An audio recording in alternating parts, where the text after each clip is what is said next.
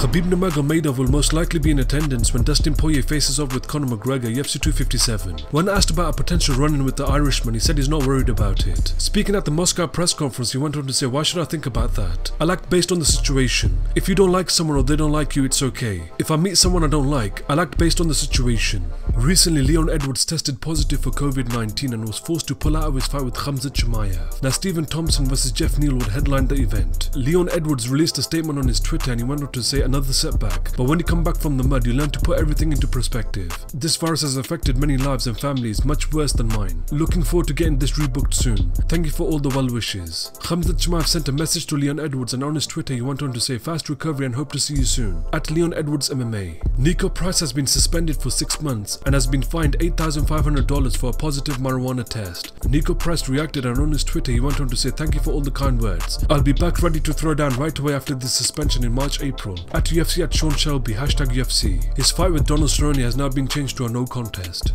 A three-round welterweight bout between Anthony Pettis vs Alex Morono has been targeted for a UFC card on December 19th. Anthony Pettis is coming off a unanimous decision win over Donald Cerrone, and Alex Morono is coming off a unanimous decision win over Rhys McKee.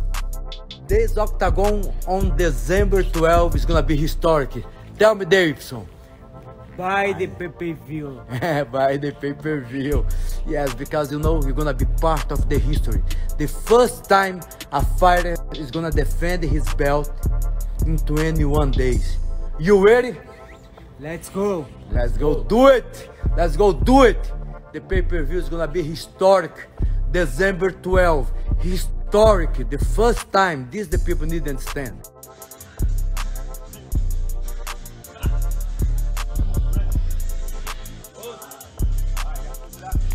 TJ Dillashaw in a recent interview with Brett Okamoto says that he wants a title shot right away as soon as his suspension comes to an end. I guarantee you this: I'm getting my belt back. I'll be a three-time uh, bantamweight champion. Um, that is that's a guarantee, and uh, it's going to be faster than everyone thinks too. But look, man, I want that title. I want it right away because you got a guy Petr Yan that, that, that beat someone for a belt that was 0-2 in the weight division. You know, Jose Aldo had two losses and you beat him for the title. So how are you calling yourself a champion? You mean you're an interim, interim champion. You know, that, that the belt has changed hands every fight. Um, there's been no one there that's been sitting there being dominant, and that is my belt. You know, so I want to come back.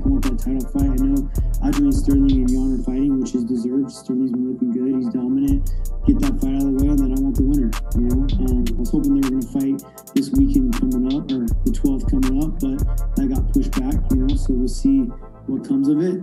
But uh, I mean, there, there's no messing around. I don't want no tune-up fights. I mean, I've uh, been in the gym. I've been helping Warren Archuleta get ready for his fights. So it's not like I've been just hanging out. You know, I'm in, I'm in the best shape, man. I put on a good 10 pounds of muscle, and now I'm starting to lean it back down. It's been uh, quite fun to do some do some uh, meathead workouts and get pretty big, and not just what I'm able to do with it has been awesome. I've been feeling great in the gym. Um, sparring is awesome. So. You know what day it is? Tuesdays and Thursdays. Only the dedicated come in. See who we. Tuesdays and Thursdays. Felipe, my man. Juan. Heck yeah. Dan. Oh, damn. Dan. Oh, wait. No, Dan. Chris.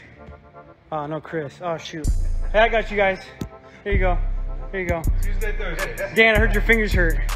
Well, now your back's gonna hurt, bro. I used for landscaping duty. Anthony Smith on Sirius XM said that he felt good, and nobody could have beat him on the fight with Devin Clark. I was on, man.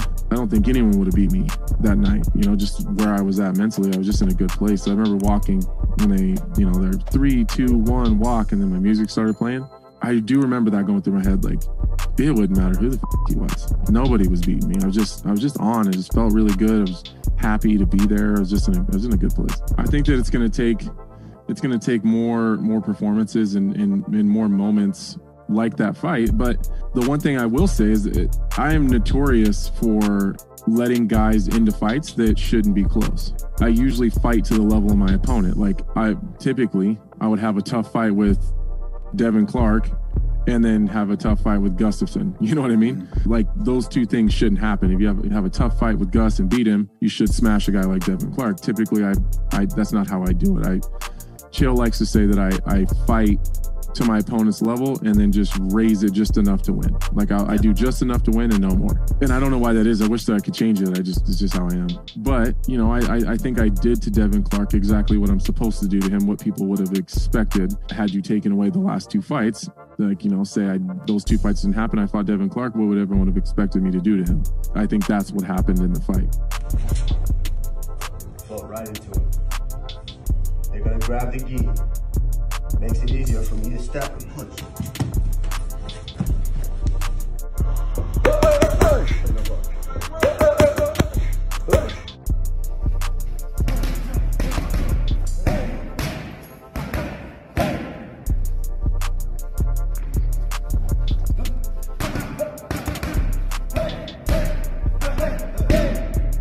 Ray Longo on the Anik Florian podcast gives his thoughts on Anthony Smith's submission win over Devin Clark. I think there was a there was a big gap in experience, and I, I again Anthony Smith. If you know him, I only know him a little bit, but I uh, it seems like just a super super nice guy, intelligent. Like him when he's on the broadcast booth too with you guys. Sometimes when they put him on, Yeah. uh, I just think it was look the guy's fought the best of the best. He's fought everybody.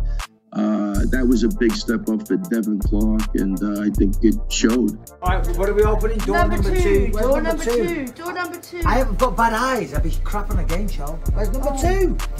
I can't look because I'm behind the board. Tom, number two. Where are we at? There's 12. Two. Two. Two. There's no two. There it is. Yeah. Oh, jeez. Just poke, poke me Oh hard. my god. What is it? What is this world? Oh, I love a 12. Give us a 12. Give us a Kill! 12. Oh, it is freezing cold in here. Got the uh, got the space heater going, warming my feet up. Hello? Oh. The coffee, good sir. Oh, well, thank you. Well, hold on a minute. Let me check the temperature, cause hold on. Oh no no no! Take it away. So- that, that- that's lukewarm. Nowhere near the correct consistency. Yes, it's f***ing ridiculous. All right, so here's the Chick fil A line. That goes all the way up Division Hill, like past Discount Tire. And then this wraps all the way down like it's going to move and goes around the corner to Holland. Oh, let me sneak out here. Goes all the way around the corner like you're going to Move Fitness and then loops back behind Chick fil A. There's cops with blinking lights everywhere. This is pure chaos. I'm not going to eat at this place for like two months. This traffic, this is insane. Hey! Get me a chicken sandwich! With some waffle fries! For free!